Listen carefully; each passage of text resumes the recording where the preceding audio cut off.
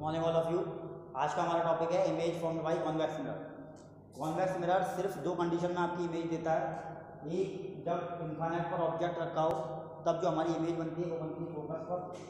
और दूसरा पी और इन्फानेट के बीच में आपका ऑब्जेक्ट कहीं रखा होगा। पी और इन्फानेट के बीच में कहीं भी आपका ऑब्जेक्ट रखा होगा, तब जो इमेज बनेगी बिहाइंड द मिरर बनेगी लेंथ मिरर के मतलब पीछे बनेगी। इन दोनों ही कंडीशंस में जो कॉन्वेक्स मिरर हमारा इमेज देगा, वो देगा वर्चुअल पहली कंडीशन में जब आपका ऑब्जेक्ट इन्फानेट पर रखा हो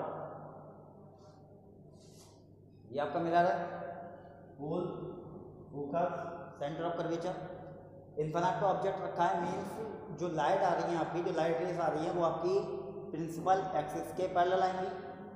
प्रिंसिपल एक्सिस के पैरेलल आएँगी आएँगी।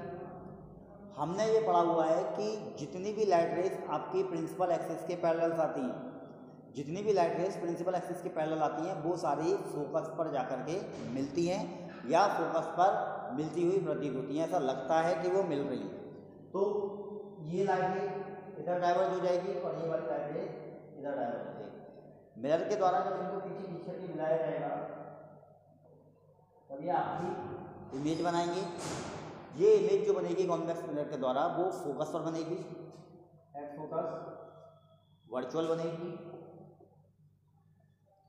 सीधी बनेगी। और पॉइंट साइज़ की बनेगी। मतलब इसका जो साइज़ होगा, वो आपका पॉइंट आकार का होगा। मीन्स बहुत छोटी होगी। ये तो पहली कंडीशन होगी आपकी जो इमेज आपकी जब ऑब्जेक्ट आपका इन्फानेट पर रखा हुआ है, तब जो इमेज हमारी फोकस पर बन रही है, वो कैसी बन रही है? दूसरी जो कंडीशन है आपकी,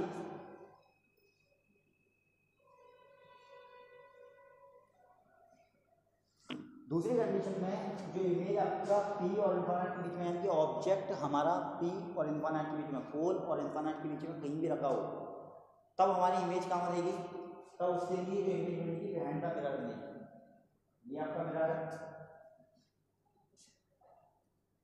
Pole focus centre of curvature अब जैसा कि हमने कहा कि पोल और इन्फानेट के बीच में कहीं भी ऑब्जेक्ट रखा हो तो इसलिए हम बोल सकते हैं कि ऑब्जेक्ट आपका कहीं पर भी हो, कोई फ़र्क नहीं पड़ेगा। ऑब्जेक्ट हमारा यहाँ हमने पहली जो लाइट हो जाएगी डाइवर्ट हो जाएगी।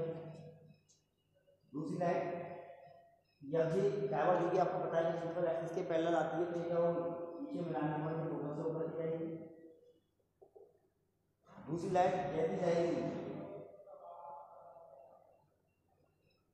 जैसी की वैसी वापस आ जाएगी कि जैसी जा रही है, वैसी वैसी टकरा के पीछे निकल जाएगी वापस। क्या होगा, इसको जो पीछे बीच में मिलाया जाएगा। मिल जाएगा पीछा मिल जाएगी मीन्स इसमें भी जो आपकी इमेज बन रही है, वो वर्चुअल बन रही है। रेक्ट बन रही है। यानी कि सीधी है आपकी। पॉइंट है कि बहुत छोटी है और कहाँ होगी बिहाइंड द मिरर बन रही है, यानी मिरर के पीछे बन रही है। आपने यहाँ पर ये देखा कि कॉन्वेक्स मिरर जो है हमारा, दोनों ही कंडीशन में वर्चुअल इमेज दे रहा है। लेकिन दोनों ही कंडीशन में जो इसकी इमेज बन रही है, वो आपकी बहुत छोटी बन रही है। मीन्स ऑब्जेक्ट से साइज़ में छोटी है। लेकिन जो कॉन्केव मिरर हमारा एक कंडीशन में जो वर्चुअल इमेज दे रहा था, वो ऑब्जेक्ट से बहुत बड़ी इमेज दे रहा था।